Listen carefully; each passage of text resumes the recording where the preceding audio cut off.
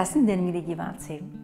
S velkou radostí po dlouhé době moc ráda přivítám ve studiu tebe. Ahoj, Toníku Baudiši. Ahoj, Alžbět. Eh, ty jsi známý astrolog, všichni tě známe. Mm, sestavuješ horoskopy nejenom pro lidi osobně, i na vztahy a i pro republiku a, a tak celkově. Trochu. Konstelaci i, i Evropy děláš, viď? Je to tak. Jak se ti daří? Předzna, předznamenáváš témata. Prosím tě, hezky se mi daří. Já si žiju v tom Šumperku. A to je takový azyl, víš? Protože tam se chodí pěšky a lidi se zdravě, jako, jako příjemně zpomalený. Zatímco tady v Praze podáváte velký výkony, vy, vy místní. Jako, jo, to. Někdy i nedobrovolně. Dejme tomu, dejme tomu, no. Část roku v tom Řecku se vyskytují, víš, jako, je, to, je to prima, no. Mláďata jsou dvě, jedenáct a třináct, tak jsem tatínek, tatínek, víš. A... Jo, užíváš si to? Prosím tě, jo, protože mm, vím, že, vyrost, že prostě vyrostou a už to bude jiný, jako jo, takže teď se s nimi můžu dívat na seriály ještě, ale pak už se zavřou v pokoji a nic nechtějí, že jo. Kapesný akorát. Já si myslím, že eh, tvé děti budou určitě trošičku jinak nastavené. Takže tvůj osobní život vypadá ne, moc Můj osobní život. Hele, uh, jasně otázka. Uh, my se s Kristy rozešli po 15 letech, teď už to budou dva roky na podzim. A ono je to zvláštní říkat, že nám to prospělo, jako jo. my jsme každý prokoukli. My jsme udělali, co jsme měli, prostě děti jsme počali, vychovali. A já to jako zkoumám, určitě jsem jako vztahová bytost, ale zkoumám, jak moc jsem vztahová bytost. Jo? Jako, jestli na sedm dní v týdnu, spíš to vidím méně. No, tak, takový režim hledání, víš, protože samotnému je mi docela dobře. Vy ženy to nerady slyšíte, ale tak to je prostě. No. Vy jste prostě rozumní lidi, tak si poradíte, že... My jsme moc rozumní lidi. Mm. jsme si poradili. A pro ty děti je stejně ale... nejdůležitější, aby se cítili být milovaní rodiči. Jestli jsou vzdálený to jo, kilometr to jo, dva. Ale, ale i potřebují to, aby, ty, eh, aby každý z těch rodičů byli v pohodě, protože jakmile je jeden z rodičů nějak jako vystresovaný, jak ty děti se stresují taky. My jsme zvolili uh, takovou jako neobvyklou formu rozchodu, kdy jsme prodali dům, ale koupili jsme dva byty, co jsou propojený schodištěm a tak víme, že to je jako rozhodnutí velmi dobrý pro děti, hmm. ale pro ty naše partnery příští a budoucí je to dost podezřelý, jo, tak tímhle způsobem asi se trochu jako chráním, ať, abych nic nepřeháněl náhodou. Ne, hele, klukovi 11, tak to mám nastavený, že na těch sedm let tam mám být ještě jako na blízku, víš. A... Hm. Je to takový transformační, viď? že to není jenom o nějakým oddělení se, ale je. že si tím člověk jako eh, hodně uvědomuje, hodně toho to posouvá. V té transformační době čím dál víc lidí uvítají, že mají trochu prostor pro sebe, pro své myšlenky, pro to, jako pro tu introspekci. To velmi výstižně, protože aby se děti narodily, aby jsme je vychovali, tak my potřebujeme hodně rezignovat na tu úplnou Přesně osobní tak. svobodu, ale uh, tím pádem člověk jede v té roli uh, toho manžela, tatínka, maminky. A ono je to hezký, tak je to potřebný, nejde to bez toho. Obzvlášť těch prvních 6-9 no, let? ale ta druhá půlka života, nebo mě 46, tak si připadám být v druhé půlce života, mám pocit, že by tam měl člověk mít prostor na to vůbec se jako pozorovat, co se ti v té hlavě děje, protože jestliže naše myšlenky řídí úplně všechno, tak mít, mít prostor si to trochu sledovat. Jako no. A ono je to paradoxní, ale v podstatě prostor určitě je i víc pro Kristy, že, že i ona má víc um, velmi, velmi. čas na sebe. A ona vždycky byla taková jako meditativní a uzavřená, takže teď je spokojená hodně a ta je od dubna do listopadu v Řecku, kde tam je prostě na kopci, víš, a má úplný klid a jsme jako, jako saturnský lidi v tomhle uzavírající se, víš, že no. To by do tebe jeden vůbec neřekl. Tam je to dokonce tak, že uh, to je malý ostrov, mm-hmm. kde na jednom kopci stojí můj dům, kde já sedím. A na druhém kopci sedím, a v druhém domě zase. Že s, při, s přítelem víš. A, a dobrý, takhle nám to vyhovuje. Jako, no. Ty jsi říkal o tom, že jste takový saturnští lidé. Co to znamená být saturnský? No, je to uvážlivost. Je to určitá pomalost, rozvaha. Je v tom klid, je v tom sebeovládání. Je v tom touha dělat správné věci ve správnou chvíli. Hele, já, jak je jsem to ten... těžkopádnost? Eh, já jsem těžkopádnej, ale... Jo, Na mě považ... si tak Saturn působil, takový jo. těžký, eh, mohutný, eh, Poslyšel pomalý. jsem ten bejvalý řeholník, jo, takže no, já už jako mladý člověk jsem tam měl tu vizi jako prosedět život v klášteře. A to bych si dala tebe typla, jo, že ti to baví. To, um, to být s vlastními myšlenkami Ale, a pocity. Uh, nedovedu být bez té myšlenkové náplně. Ta potřeba tu hlavu hmm. něčím sytit tam zatím je, takže čtu, tím pádem je tam určitá jednostrannost, měl bych spíš se hejbat, jako běhat, dejchat pohyb, protože vidím, že ta kondice už jako nepřibývá, že jo. A, no, ale mně se to líbí vědět a moc komentovat věci na YouTube a tímhle způsobem si povídat se všema lidma, protože abys dělala přednášku na nějaký téma, jako eh, to můžeš, ale když se to YouTube povede a podívá se na to 5, 10, 15 tisíc lidí, tak to je dobrý pocit, že jsem to poslal do světa víc. Jo. Mm, ale je to paradoxní, na, na venek tak vůbec nepůsobíš, ale dokážu si představit, když jsi dlouho mezi lidmi, tak už z toho pak máš stres. A já nejsem dlouho mezi lidmi, já i to poradenství si to hlídáš? jsem uh, hodně omezil v tom, že ho mám převážně po telefonu, jenom na půl hodinky prostě. Mm-hmm. To nevyřešíme za půl hodiny, to nevyřešíme vůbec. Mm-hmm. A jenom trochu se setkávám, když za mnou někdo do Šumperka přijede a dva čtvrtky bývám v Praze, no. No to jako akorát prostě. Jo, jo. jo, jo. no jo, Saturn čas. Um, a propo, jsme v roce 2019, čeká nás druhá polovina. Jak vidíš tenhle čas? No, hele... Tenhle to není naštěstí saturnský. Jak se to vezme? Uh, spíš je člověče. Spíš je. Mně připadal minulý rok, že byl těžce saturnský. Uh, hele, ten rok se rozjížděl hodně stěžka letos, hodně pomalu. Mm. Leden úplně stojatý, v únoru mm. práce se všem, kde si, co si. Um, hele, ono Saturnu vládne to znamení kozoroha. Jo, a v kozorohu se Saturn nachází jako planeta, mm. ale ono se tam nachází i Pluto, který je ještě hustší, protože ještě mm. pomalejší než Saturn, a oni se tam scházejí pohromadě v mhm. takzvané konjunkci. Mm. Jo? A teď byli hodně spolu, ten květen červen a mnoho lidí mělo pocit, jako, že třeba už jsou na konci, nebo že jo, si takzvaně jako hrábli. Mm.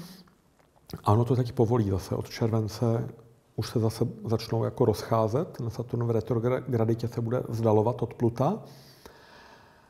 A napsal jsem do červnové předpovědi, jako, že si můžete vybrat buď jako lézt po skále, nebo kopat studnu, nebo tlačit vagón. Tak, takový pocit, jako když překonáváme hodně staré věci, hodně neřešený a dostáváme se k tomu, co jsme vůbec nechtěli řešit a konečně se to po nás žádá, abychom to udělali. Jo? A s úspěchem? Um, Jsou tam jako další každý, dobrý každý, dispozice? Ty každý tam musí obstát nějak, protože mm-hmm. hele, já to bych asi takový pozitivní televize, jo, ale jsem měl dojem, Můžeš že... říct tady těžké věci. No, prosím tě, umírali lidi. Uh, teď ten květen čeren najednou prostě šmitec. A je to o tom, že když už nevede cesta dopředu, hmm. jo, tak člověk potřebuje dostat tu novou příležitost. No. A teď od toho bude úplně klid, brum do konce roku, až od půlky prosince a leden ještě, tam se to jako bude dokončovat hodně. No. To zvládneme. No prosím tě, a máte být rok Merkura, tak kde je ten Merkur, ta lehkost, Víš co, ta já, komunikace? Já o tom vůbec nejsem přesvědčený, že tohle počítání funguje. Jo, mě to nedává, ta, pro mě to nemá oporu jako, jako v ničem, jo. Ta, hmm. Takže já to nikomu nějak moc jako neberu, ale když se mě zeptáš, si o tom myslím, tak ti popravdě řeknu, si o tom nemyslím vůbec nic.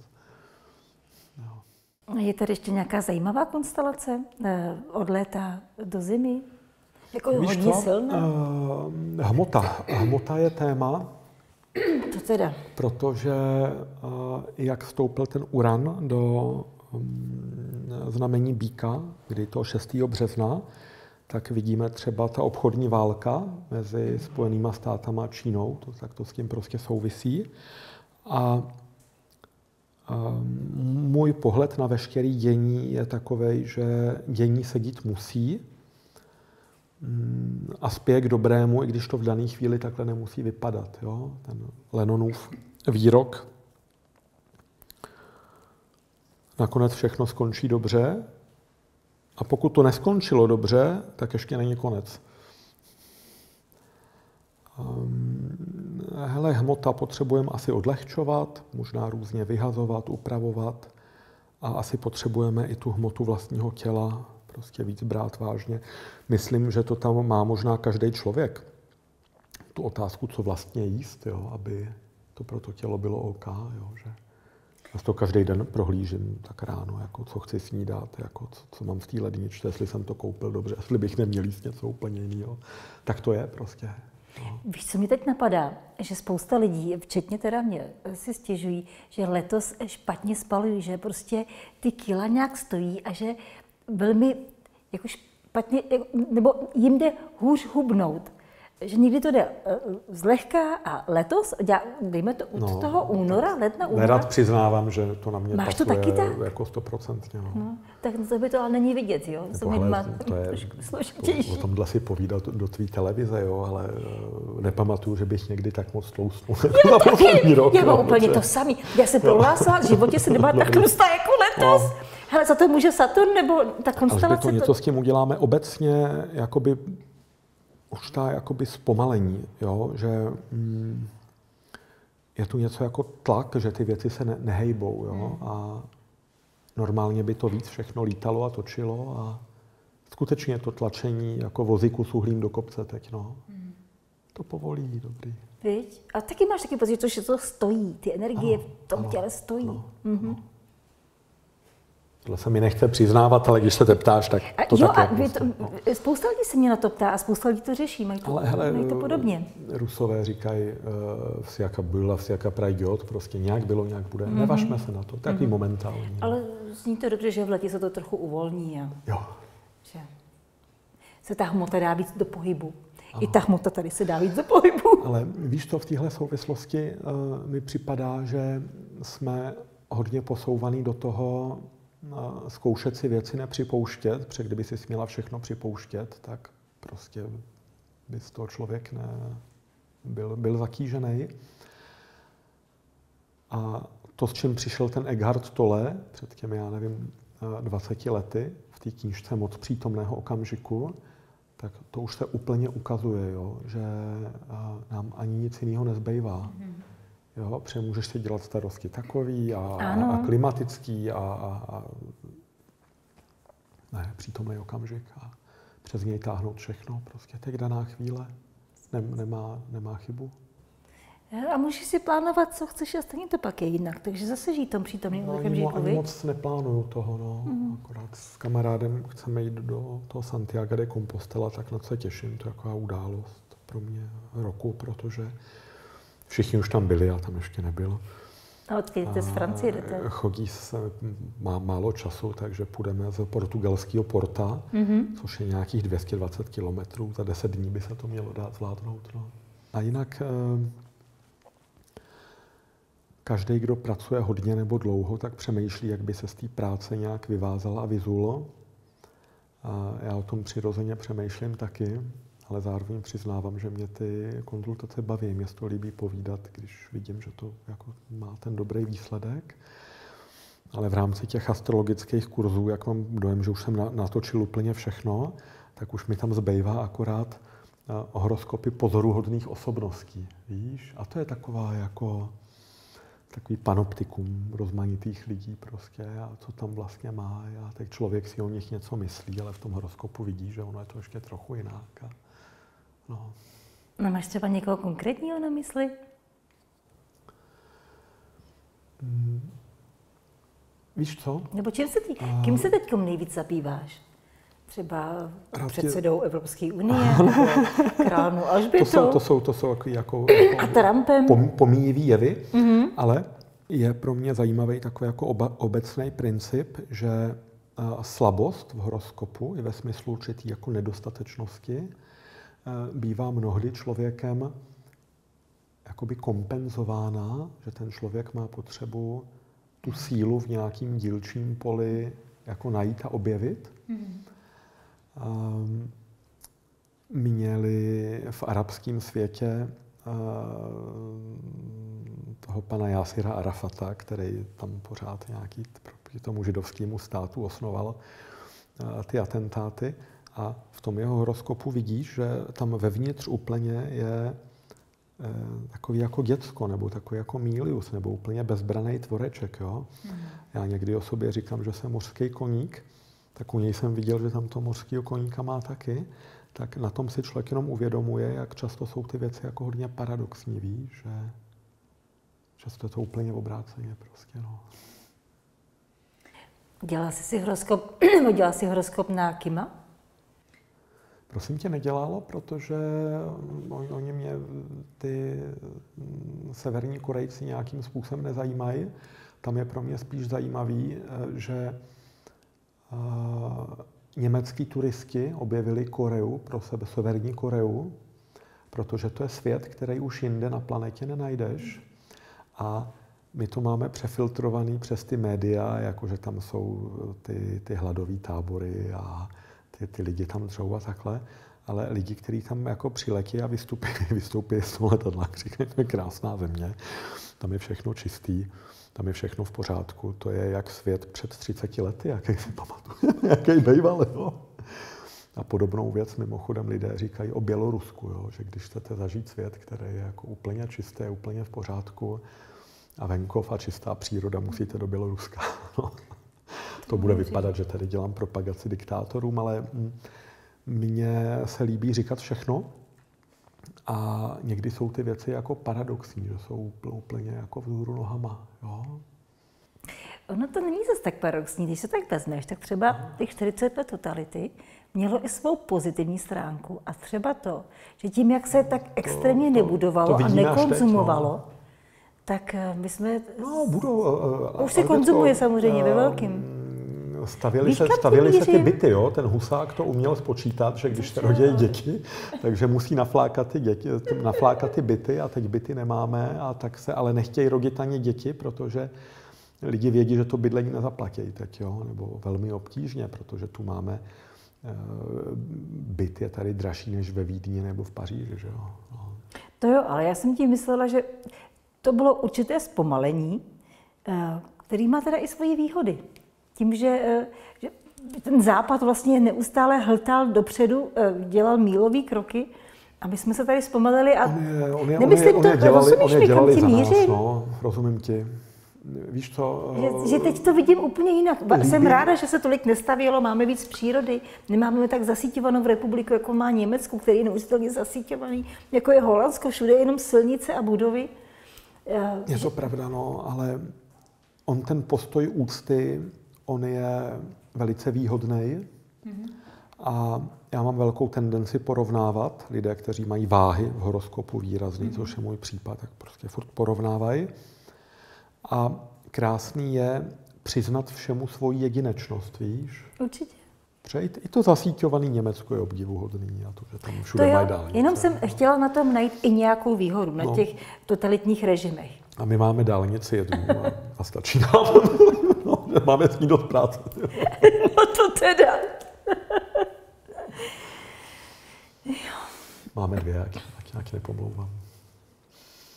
Jak ty vůbec vidíš současnou dobu? Lidé posuzují dobu a to prostředí jakoby projektivně podle toho, jak se mají oni sami. Jo? Takže ten, kdo eh, je, jako se říká, že eh, eh, sytý hladovému nevěří, tak ono to nějakým způsobem funguje i v opačném gardu, jo? že ten sitej nevěří tomu hladovýmu. Jo? Nebo jsem to Hladový nevěří si týmu. Promiň, děkuji, děkuji za opravu, mě pochopila. A... Já věřím, že se děje vývoj k lepšímu. A myslím, že je i důležitý uh, nebát si to myslet, protože tímhle takhle pomáháme tím té době. Hmm. Jo? A nechci si nalhávat nebo někomu něco namlouvat, ale hele, chudoby je ve světě čím dál míň, aspoň jestli můžeme věřit nějakým prostě statistikám, ale mm, ty údaje přicházejí z více stran. Jo? Že když srovnáme svět v roce 2019 a 1919, tak um, je to, je to hodně jiný svět a spíš si myslím, že k lepšímu. Jo? Takže mm, nechci vzbuzovat uh, nějaký sentiment, jako že, že líp už bylo. Jo? A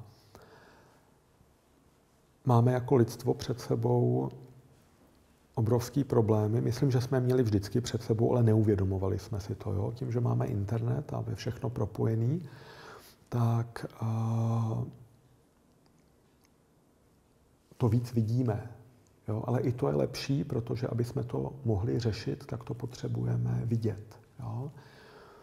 To hlavní téma se určitě eh, týká přírody, a to sucha. Svět je rozdělený na eh, klima alarmisty, který říkají, že musí všechno být jenom na elektřinu. Není jasný, z čeho ji vyrobíme a kdo to zaplatí a na klimaskeptiky, který říkají, hele, v přírodě ta teplota vždycky chodila nahoru a dolů, tak se neplašte. A já sám se sebou nevím, mm, do jakých z těch skupin patřit, protože oba ty hlasy, oba ty tábory mi znějí rozumně. Jo? Nevím, jestli jsi to zaregistrovala. Polabí, jo, směrem od Prahy na Kolínenburg. Tam jsou nádherné lesy, jak listnatý, tak jehličnany, jehličnany borvice. A teď se přišlo na to, že asi 18 hektarů těch borovic úplně uschlo. Hmm. Jo? Při tom polabí tam je to nacucený vodou, protože tam ta hladina labe eh, a promiň, nadmořská výška prostě jsou zhruba na rovno. Takže můžeme tomu přihlížet a jako doufat, že se to nebude zhoršovat, ale ono se to zhoršuje prostě už dlouho. Jo. Takže jsem velmi zvědavý, co vymyslíme.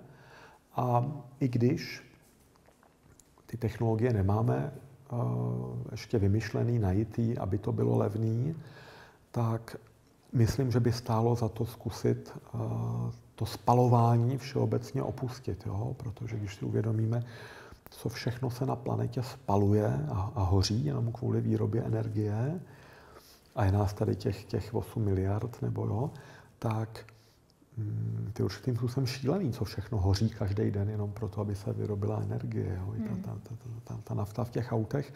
Takže já se to přimlouvám, ať, ať to zkusíme, ať to hledáme, jak se toho nebojíme. No. Co jsem nevěděl, že já když něco nevím, tak vždycky napíšu nějakou blbost na Facebooku a ostatní jsou tak hodní, že mě opravějí. Jo? Ale nevěděl jsem, že ty litiové články um, do těch elektromobilů, že jsou recyklovatelné. Já jsem to nevěděla, myslím, že se to vyhazuje stejně jako u mobilů a tam je recyklovatelnost nějakých 90 až 95% Takže si říkám, aha, tak hele, ono to stejně nějak půjde, jo. A jak to bude s vodou, to je velká otázka. Hmm, nějaký vize, já nemám vize budoucnosti, ale zaujala mě jedna, jistý Al Bělek, eh, pán, který o sobě říkal, že byl externím spolupracovníkem NASA, že se podílel na eh, cestování časem, což zní jako pohádka, možná jsem lehkověrný, ale prostě mě to zaujalo. Tak on říkal, že byl v roce 2134 a říkal, že dobrý, že to lidstvo tam je jako... Prostě tam je lidstvo. No, to pro mě dobrý. no. Nehroboti. No, a nebo no, no, ne no. poušť. Velmi dobře, velmi dobře. Ba co víc, a říkal, že potom byl v nějakým roce 2400, nevím kolik, a říkal, že tam viděl plovoucí města. Říkala sakra. plovoucí města, ale proč ne? Dobře. Ale proč by se ten oceán nemohl obnovit a pevnina, Bůh ví co všechno, jo? To není průser, jako jo. A bylo v roce 2050? Ty to se, do, na to si počkáme, to se dožijeme oba, nebo... No právě, že bych ji viděla. Hele, vidíš, že no, řada států si skutečně vytyčuje jako cíl prostě zasadit stromy. Mm-hmm. Austrálie řekla, že chce zasadit miliardu stromů. U nás je to milion v České republice. U nás je to milion, ale vidíme, že i když strom zasadíš, tak vůbec není jistý, že on se ujme. Tuhle zkušenost udělali na Slovensku, protože tam, prosím tě, během pěti let vykáceli polovinu všech lesů. A to je jako, jako divný. A my teďka už víme, že oni to udělali kvůli biznisu s dřevem. Určitá forma prostě mafie. Jo, rozkradlo se dřevo, takže ho pokáceli. A oni žili v představě, no to zase zasadíme.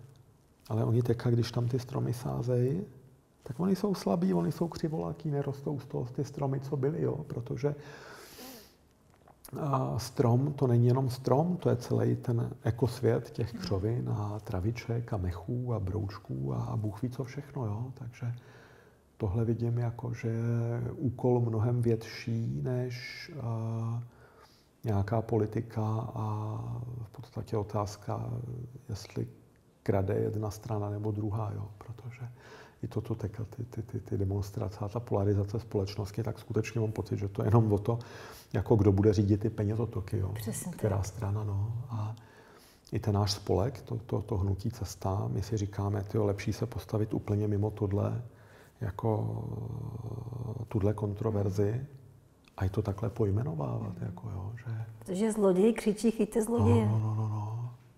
Proč být na nějaký straně, když ví, že ani strana, jedna z těch stran není v pořádku, jo? A tak jako máme ten program Cesta odpovědné společnosti, tak ono to říká velmi jednoduše, že prostě buď budeme odpovědní, nebo to nebude dobrý, když to řeknu takhle. Jo? A i celý ten program a, toho přirozeného řádu je v podstatě jenom o tom, že spolupracovat je lepší, než spolu bojovat. Jo? Ale teď vidíme, že tam probíhá ten boj o to, kdo ty penězotoky kontroluje. Tak to budu hodně zvědavý, kdy tohle jako překonáme, protože ta varianta té spolupráce a toho, aby bylo všechno transparentní a viditelný, to se vyloženě nabízí. Myslím, že stojíme před tím, jo? Aby na všechno bylo vidět. Jo? Protože potom se nemůžou ztrácet žádné miliardy, když je všechno prostě viditelný a dohledatelný, kontrolovatelný s tímhle úplně prapůvodně v tom nějakým roce 2010 přišli ty Piráti, k kterým jsem se z tohohle důvodu tehdy přidal. Oni mluvili o skleněném státě, pak na to nějak zapomněli, ale... Zapomněli na víc věcí, co slíbili. Zapomněli na víc věcí, no, tam i... To nevadí, prostě se takhle dopadlo to jako vždycky, ano. Ale a, hele, já věřím, že to vědomí, jak roste, ono skutečně roste i tím internetem. To všechno je mnohem více jako propojený, že už dneska ti stačí naznačit, aby si dopočítala v hlavě ten celý obrázek, jo? tak věřím tomu, že normálně budou čitelné myšlenky, viditelné myšlenky. Jo? Ale takový svět potom dovoluje, aby bylo čitelný a viditelný úplně všechno. Jo? Zatím je to pro nás nepřijatelný, protože máme stud, máme, já nevím co, dvojitý život, skrýváme tohle, tamto, bojíme se na to, aby se o nás něco nepřišlo, ale věřím tomu, že bude možný dosáhnout takový úrovně jakoby čistoty, kdy každý budeme moct úplně jako ukázat, podívej se, tohle je můj život. Jo. Na to se těším. A mimochodem, když už jsem tak, takhle rozpovídal, Jaroslav Kuchař, ten předseda našeho spolku Cesta. Na začátku jsme si povídali vůbec, kdo jsem, nebo on kdo je, nebo jak, jak to vidíme. On se mě ptal, jak to, jak to vidím s tou Evropskou unii. A já mu říkal, hele, já nemám nějaký moc vize, nebo že by mi něco chodilo, nebo jo. jako astrolog jsem velmi jako pragmatický, opatrný. Ale co se mi stalo, že jsem viděl, a byl to téměř jak, jako, jako, jako, sen, ale ty ho vidíš a líbí se ti, kdy jsem viděl tu Evropskou unii budoucnost, nebo Evropu, Evropu budoucnosti, jako úplně nádherný kontinent, fakticky jako čistý, zlatý, dokonalý. Jo? Žádný války, žádný spory, žádný tyhle ty migrační bordely, žádná kriminalita, eh, dokonalý svět, dokonalý život, kde se lidi mají rádi, rádi žijou, rádi prostě chodí do škol, do práce jako, a, a, a vědí to o sobě a mají k tomu velkou úctu. to já jsem tohle viděl, prosím tě. Je, takhle jsem. Jako kdyby to mělo i svůj předobraz ve vesmíru, jako kdyby to už někde existovalo v té dokonalé podobě, víš. Jo, ale jakmile tak, takovouhle myšlenku máš, tak víš, že to je proveditelný. Jo? A e, já připouštím, že někdy asi na Facebooku prostě přiživuju různé obavy a pře, se mi zdá, že pravda se neříká, že se říká jenom něco. A tak nerad připouštím, že pokud někdy přiživuju negaci, takže bych to chtěl opustit, jo? ale um, to je nějaký můj vývoj, nějaký mý stádium takový. Jako no. A jak vůbec vidíš um, systém Evropské unie? Tak uh, on, jaký, jaký tam má v roli v tom, aby Evropa byla šťastná? On, on, on roli? vzniknul uh, jako nástroj na eliminaci válek a konfliktů. Což je v pořádku, jo, že? Vymysleli to v podstatě francouzi, ten, ten Jean Monnet, jestli se nepletu. Eh, jako způsob, jak eh, pacifikovat Německo. Eh, ale od toho se odvíjí ten bonmot, že hm, chtěli jsme evropský Německo a místo toho máme německou Evropu. Jo? A hele, ten tlak se stupňuje, to množství regulací a kontroly, možná, že na celém světě. Jo. V Číně zavedli uh, loni na podzim ten kreditový systém, kdy to je jak žákovská knížka, prostě každý má tisíc bodů a jakmile jdeš na červenou, tak ti škrtnou 30 bodů a jakmile se potkáš s někým, kdo už má jenom 500 bodů, tak i tobě škrtnou prostě 50 bodů, jako že jste se potkali. Jo. A to je, to je Eh, čistý peklo, to je čistá diktatura a jako jsem ochotný mít vůči Číně velkou úctu, protože si pamatuju tu starou Čínu, tu minulost, ty principy. Chovám velkou lásku k té knize Proměn, což je jedna z nejstarších písemných památek lidstva vůbec, jako jo. Tak uh, s těma Číňanama mám obrovský soucit, jako jo, že jsou takhle tlačený do to je mateřská školka pro dospělí v podstatě, jo. A nevěřím tomu, že by to bylo vesmírem podporovaný, protože a, jako skutečná mravnost musí být dobrovolná nebo vědomá, jo, ale ne, ne vynucená prostě jako trestama. Jo.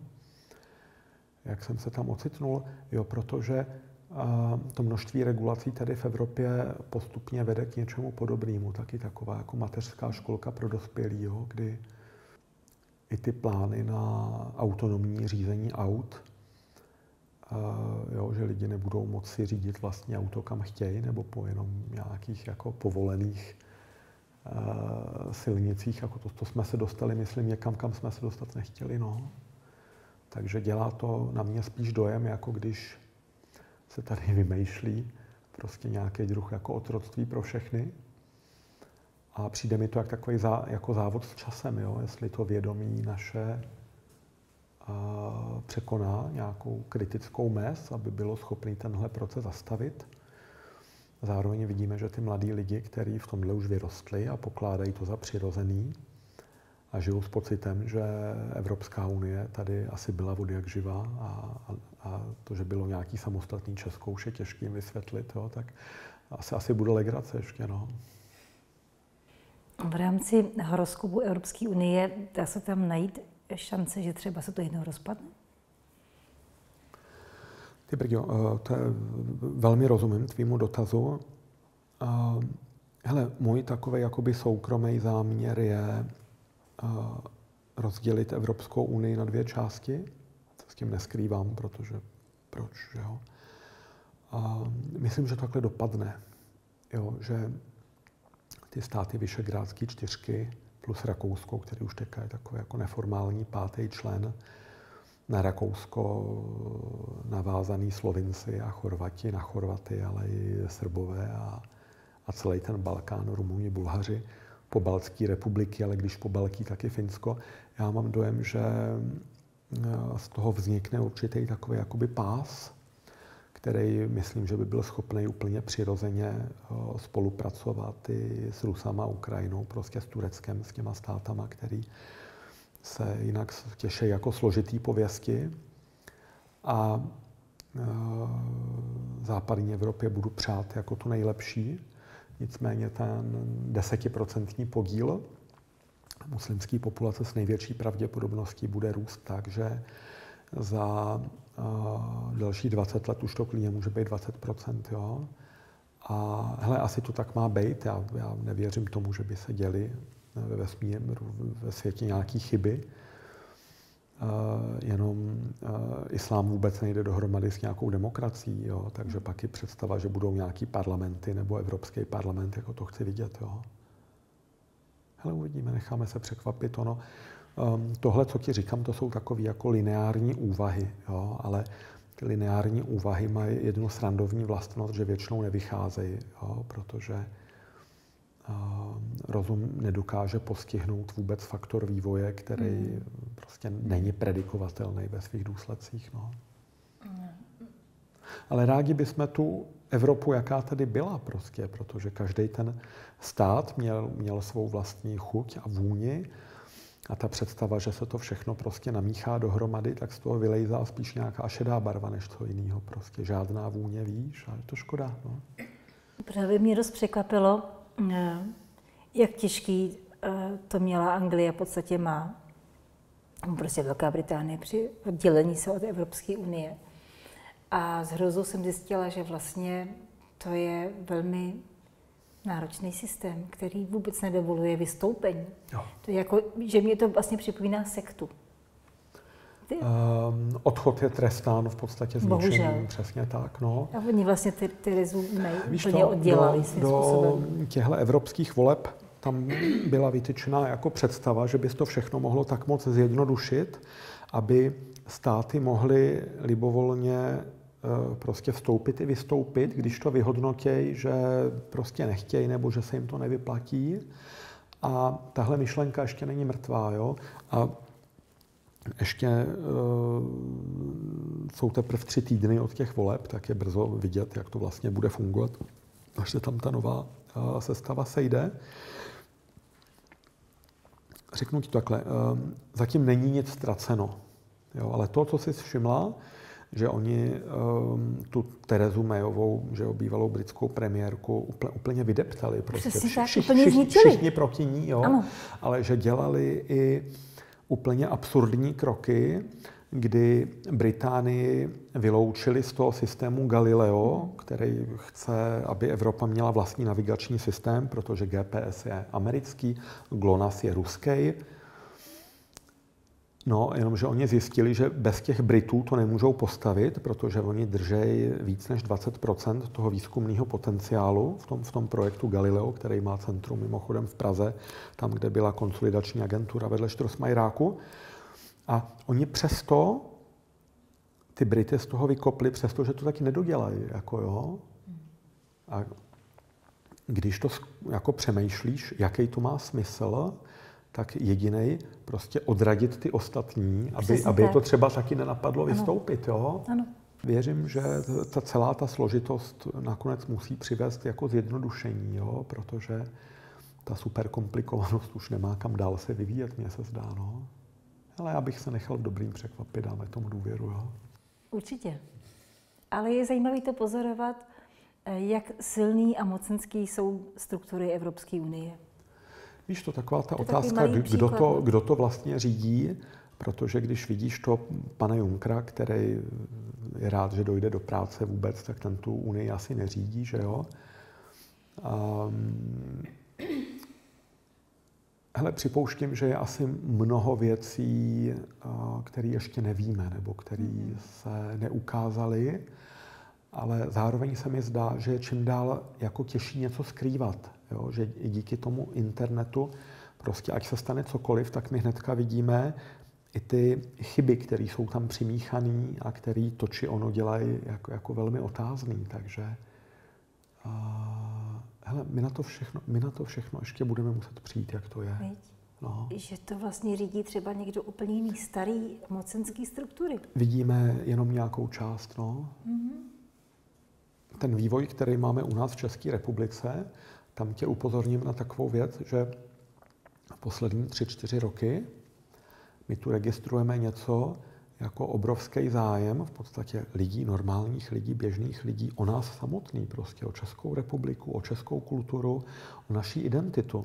Mm-hmm. A to je určitý vedlejší efekt, pozitivní efekt toho, že eh, na nás jede ten integrační tlak, že nám sem chtěli eh, nasázet prostě plno, plno kluků Ahmedů, a my si prostě začínáme vážit svý vlastní země a toho, že když prostě nastoupíš do autobusu, do vlaku, takže tam vidíš ty lidi, který jako poznáváš a domluvíš se s nima že tu kulturu tady takým, takým takhle jako můžeme držet, jo? Mm.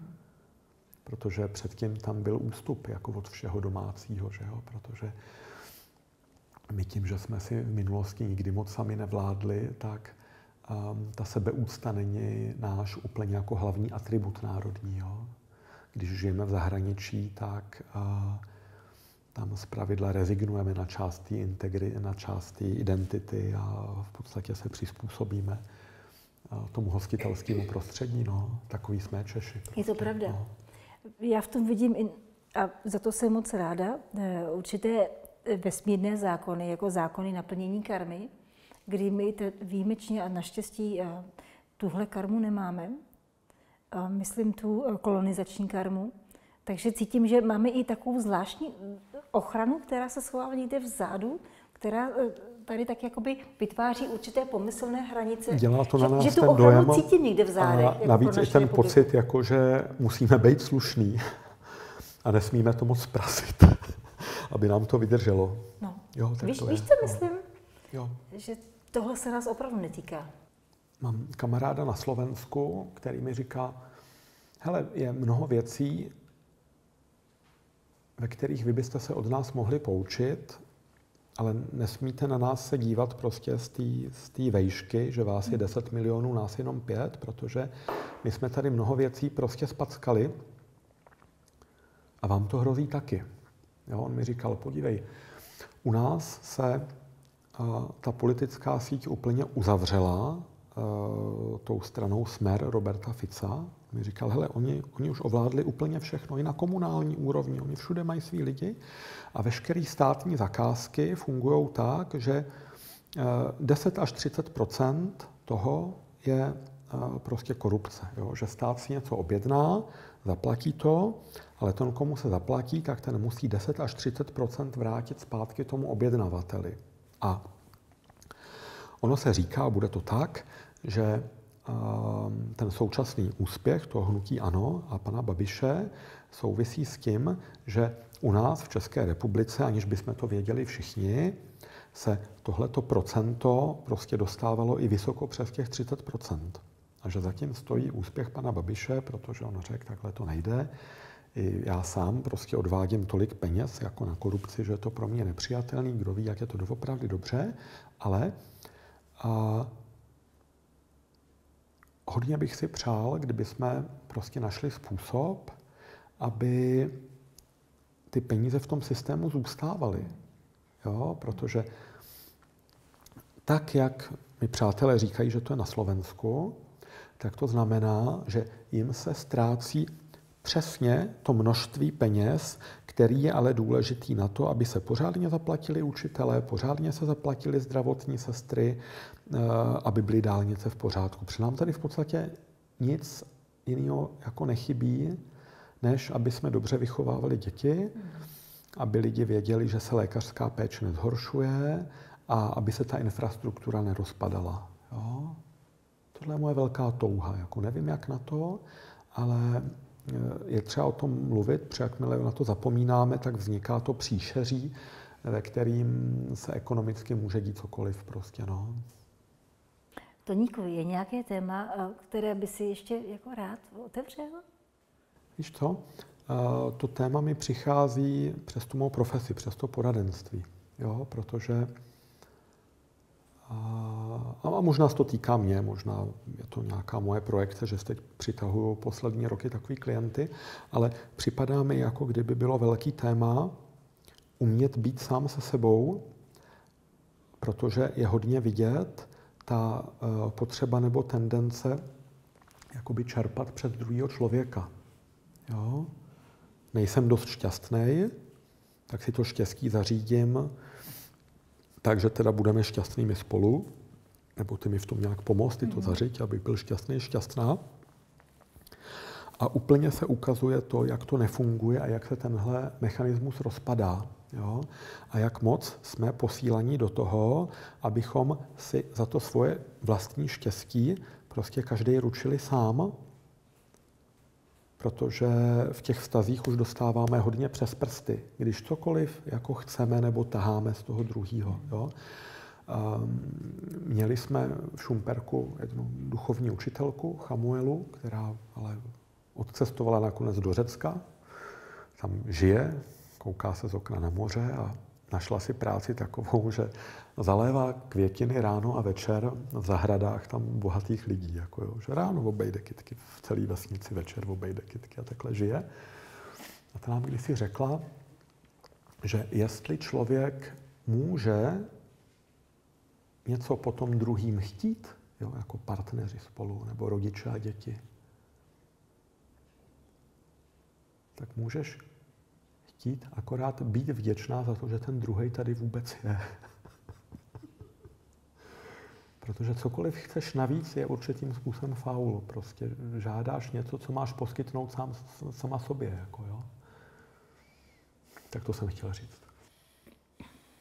To je ale velký proces pro společnost, který vlastně, jenom, nebo jenom díky němuž my se jako společnost uzdravíme. Jo. Dospějeme. Mužský, ženský princip, ano. zneužívání, ochota, důvěřivost, všechno je v tom mm. přesně tak. Děkuju, pochopila hezký. Promiňte, nepodceňuju, ale ne, ne, dáváš ne, mi okamžitou zpětnou vazbu. No. To hlavní téma, že jo? jo, jo. Lidstva. To se mě dobře zeptala. Vyzrát, vyzrát. Tak to uvidíme a taky zase. to byla krásná tečka na závěr. Zase za dva roky? Ale klidně i dřív, co? Mně ty dva roky připadají být taková. Jo, jo. jo. A když budeš uh, mít potřebu, nebo já budu mít potřebu um, přijít s horoskopem na příští rok, tak moc rád. Se můžeme domluvit, moc mm-hmm. rád, mhm. děkuji. Tak jo. Až to děkuji. Ale měj se krásně, ať se nám daří. Ano. Všechno nejlepší pro naše diváky. Ano, a to by všechno nejlepší k dnešnímu svátku.